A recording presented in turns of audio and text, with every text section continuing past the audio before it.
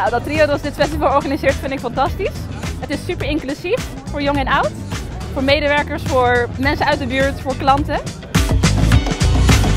We zijn hier gekomen omdat we eigenlijk geïnspireerd wilden raken door nog meer varianten van duurzame producten en uh, voor allerlei mooie presentaties die hier zijn.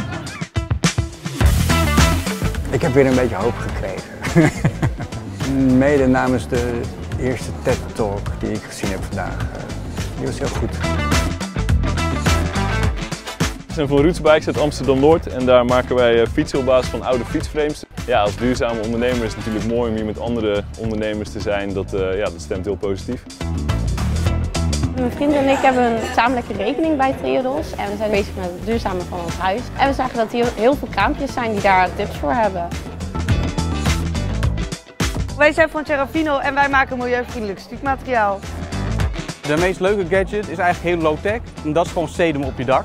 Alle daken van Nederland vergroenen, dat doet de natuur een hoop goed. Nou ja, ik vind het heel verfrissend dat een bank dit organiseert en dat het gewoon toegankelijk is voor iedereen.